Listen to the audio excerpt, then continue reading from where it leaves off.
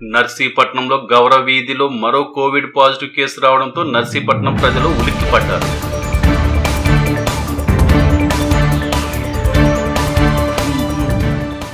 ఒక పక్క కోమటి వీధి ఇప్పటికే నలభై రోజులుగా రెడ్ జోన్గా ఉంటూ ఈ రోజుతో ఆరెంజ్ జోన్గా మారుతున్న సమయంలో గౌరవ వీధిలో హైదరాబాద్ నుంచి వచ్చిన వ్యక్తికి పాజిటివ్ నిర్ధారణ కావడంతో అధికారులు ఉరుకులు పరుగులు పెట్టారు.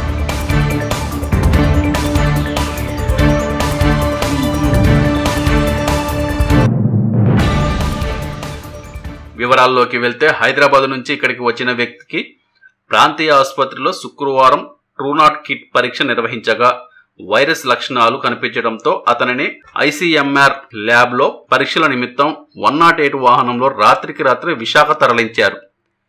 అక్కడ పరీక్షల అనంతరం పాజిటివ్ వచ్చినట్లు ఇక్కడ అధికారులకు సమాచారం అందింది.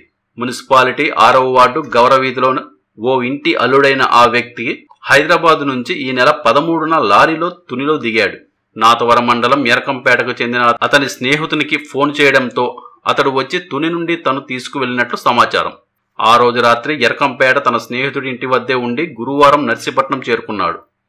ఇదిలా ఉంటే గౌరవీధిలో అతని భార్య ముగ్గురు పిల్లలు అత్తగారిని కోవిడ్ పరీక్షలు నిర్వహించారు.